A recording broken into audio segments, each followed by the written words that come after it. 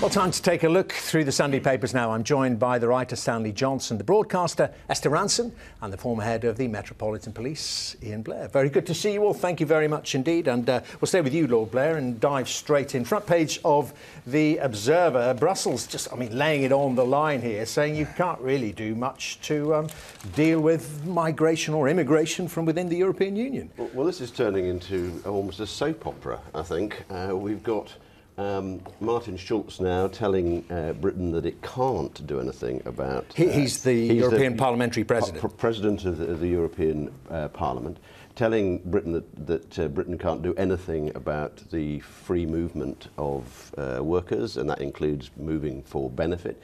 You, if you read the Telegraph, you've got Iain Duncan Smith saying we can. Uh, Sunday Times is running it on the front page. And, and, there's something going on here about the, particularly the Conservative Party having a conversation with itself. The, mm. the Telegraph's got 95 Conservative MPs uh, demanding a change to the law so that Euro British law can override European law, which would destroy the European Union from the beginning. This week has seen uh, a bill in the House of Lords to try and get a referendum in 2017, which is a waste of time because no parliament can bind its successor. So it's a complete. So it all seems a waste of time, time of you. But I mean, it's not just the Conservatives, isn't it? Because it's, it came from Chuka Umunna. I mean, this this issue on the on the front of the Observer from the Labour side, Stanley Johnson, who was who was talking about looking at uh, some of the, the, the categories of migration within the European Union. I spent 20 years in the EU institutions. If you add the you know, my time in the Parliament with my time in the Commission, I think realistically there have to be some changes on this free movement.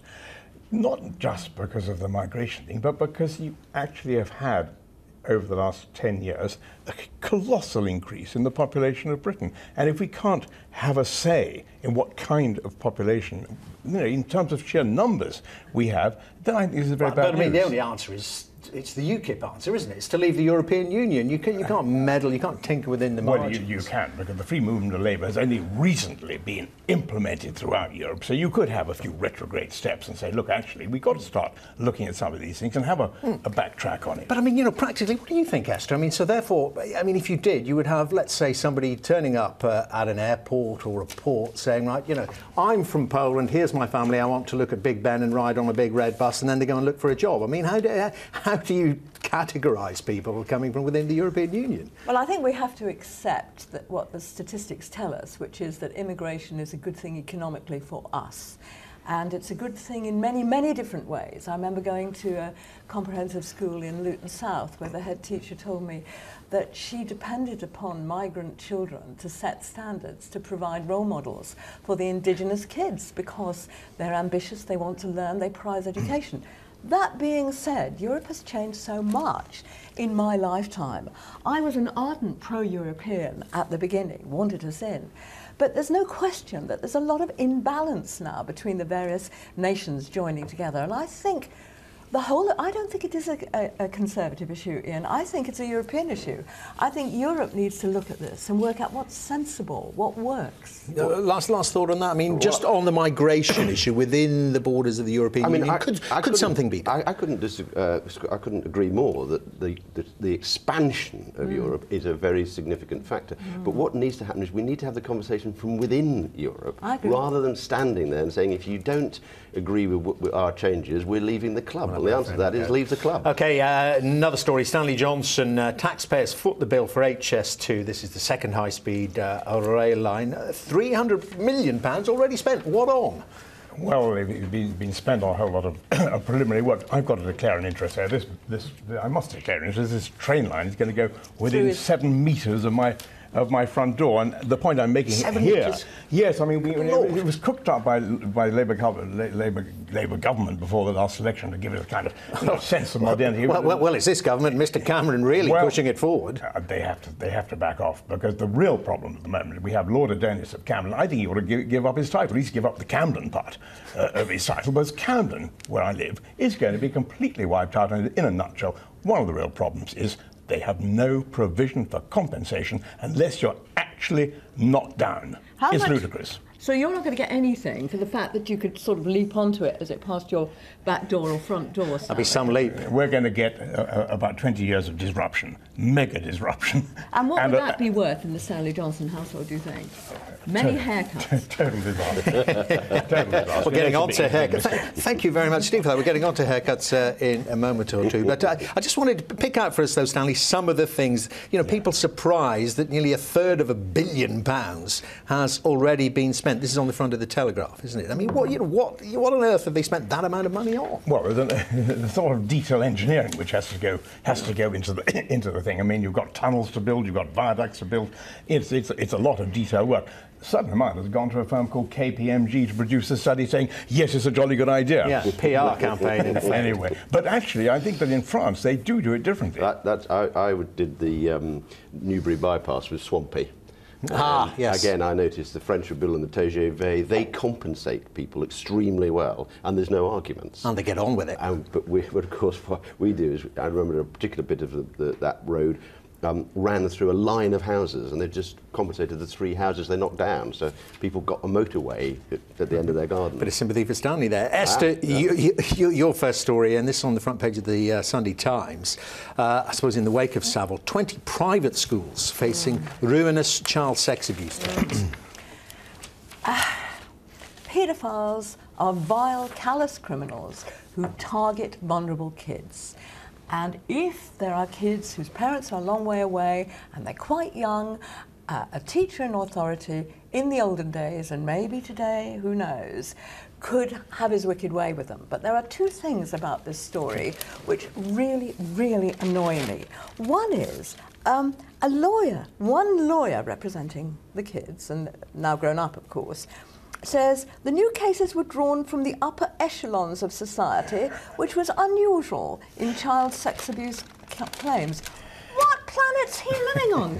Does he think that only common kids get sexually abused? Has he never? Well, heavens! So, sack that lawyer. Sack him. Second- Uh, second Lee point. Calls for, for sacking. And then the other thing, equally stupid and uninformed about child abuse, says what is most unsettling, said this writer in the Sunday Times, is that the teacher involved were all popular with boys and staff. None came close to the caricature of the teacher abuser as a creepy weirdo. Dear me, yeah. What we know is that monsters don't get near children, nice men do. Obviously, the people who want to win the confidence and trust, not just of the kids they're grooming, but the adults around them, will appear to be the most popular, successful, happy go lucky teachers. But that's Some real stereotyping there, isn't there? Real Esther, Esther, Esther- Stanley, didn't some of the, the Johnsons go to one of the schools mentioned? I mean, you'd be keen, to, keen to find out Yes, about four out of a potential six went to um, one of the schools. I'm going to put in a word for this school at the moment. Ashdown House on the front page uh, of your paper, Yeah. Esther. Well, I'm, I'm going to put in a word for it. You did a very good job as far as it's concerned. I know nothing about these allegations. That's what Manuel said in um, Fawlty Towers, if you remember.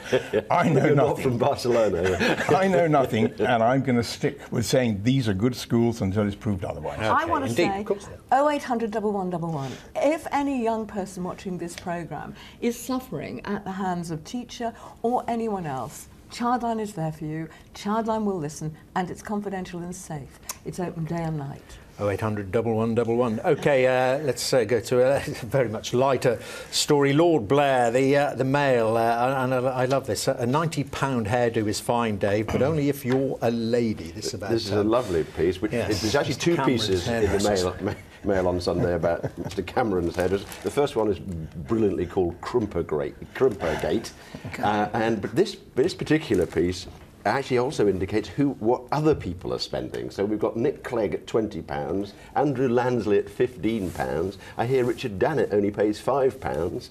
Um, Does and- it depend on Wait, uh, baldness? I don't Well, I know. was gonna say I don't, know, I don't know. But the great line What, is what this. about you? How much do you spend? Then, I spend th- about 13, I think. is Oh, the- 13, yeah. very good, It says- And you don't- I'm on 20 quid, I'm afraid, yeah. You know, well, it does look it's- it's worth in North more. London. Forgive me. Yeah, It- it looks- absolutely. looks I, I go to Aussie the barber. You in don't go anywhere. Ozzy the barber in Camden Town. But you have a genetic hair But hang on, um, the- the- eccentricity, but don't the- the- you? this- you and your son. There's still a, a, a great quote in here. It says that men are now getting the same treatment women have endured for years. Oh, look at him with his bald spot. He's spending ninety pounds and he still looks like a potato. uh, right, uh, let's uh, let's move on uh, over to uh, Stanley. Um, caution, your mobile phone is watching you. I mean, people kind of knew this already, didn't they? That you, this you is could the be, David be Davis. anyway if you got this your mobile is the phone. David on. Davis story. David Davis, a remarkable man, uh, absolutely remarkable, a fighter for civil liberties, has pointed out in a longish article in the in the Mail on Sunday that the government, through its use of what's called metadata, jolly well knows every time you ring someone up, they know who you ring up, they know where you rung up from, they can track you. You call that, you call Esther Rantzen, it's known. You call Childline, I'll be calling that new line you've just set up, Esther, called Silverline. Quite right. You know. Well, I say to myself, David Davis is on the right on the right track here. We cannot allow government to know too much about what we're doing. I- I think he's absolutely on the wrong track. This is a life-saving matter. If two children have gone missing, Yeah. if they've gone missing with their mobile phones, And you would suspect that right now that's one thing that's what- being done is finding if the phones are at still the on. moment Is they're looking. It's not even when they're on. They can be off. It's like that's how All the more found- worrying. Someone, someone might know. I'm in But, this well, studio. let's listen to Lord Blair, Lord Blair Okay, I mean, because you know, he knows about the policing I the aspect of about it. this is if you have a murder in a field in Berkshire, the first question you ask is what phones have been in that field. Do you remember the little girls in Soham? They, Absolutely. they tracked where they'd been, and that's how they found A- Ian and a missing child who's going to hang herself, she rings Childline, says she's going to hang herself, she disappears Okay, I'm sure with you. her phone. I'm sure you don't disagree with that, Stanley I Johnson. But what you want is the I- checks and balances. I do is that it? disagree. I do disagree. Really? In order to solve one or two problems like that, I'm not saying all important problems, of course they are. A missing child is a, is a tragedy. You introduce a system which weighs so heavily on society as a whole. I think that is the question. It is- But, the and- and- there to be and- um, seen. But what happens if what happens if police lose that right? I mean, I how think damaging it, would I think be? it would put policing back 30 years. It would I put Childline back, it would put I mean, at a the- great the, the, disadvantage. Glasgow, people who blew up the Glasgow when they drove into the airport, hmm. the police were a few minutes behind them hmm. only, all the way from London, because they had the phones. Davis they is also phones. talking about emails. The, the metadata means they know exactly what email you sent to No, whom. it doesn't. No, No, they don't know the They contents, can, but they know. They can apply. They, in, in the new system, would they'll be able to apply to actually say who emailed whom. What are you feeling guilty about, Stanley? I'm not feeling guilty. in What is it you don't Well, that is the old to question. I mean, that's a way of saying if you've got nothing to hide, why, why do it? Yeah, that's a, that's an that, that's an easy way out. No, it would have been a I very think interesting on the answer. whole, we cannot allow government to know too much about what we're doing. Okay, listen, uh, Esther, you're bringing us back, I suppose, in a way to the issue of uh, immigration, migration. Foreign nurses give NHS a lesson in tender loving care. Well, I'm sorry to say this, but my experience has been just that. When my late husband was uh, in hospital um, with his, his final illness, the nurse, who was wonderful, was an Australian agency nurse. And the other person in the hospital was the Spanish cleaner who made us cups of tea when we sat by his bedside. While I'm afraid too many of the other nurses were gathering together at the nurses' station, chatting to each other. Now, you can't actually examine people. You can't put an official qualification on a bit of paper for care and compassion. But somehow or other, as people are saying these days, the nurses we used to describe hmm. as angels are now highly qualified, but not necessarily the people we would want to nurse. Do you think this is about uh, national characteristics, or it's just about numbers, isn't it? I mean, you know, I don't think I mean, do you think do you think some foreign nations are intrinsically more caring? I think that they understand what the whole nursing role is. If I had a whole group of uh, trainee nurses in front of me, I would say, right, you're getting into those hospital beds and you're going to feel bloody awful, and we're going to show you what it feels like when someone. Do you know, I had a friend of mine who'd lost his sight. He was in hospital age 90 with a heart attack. I asked how the food was.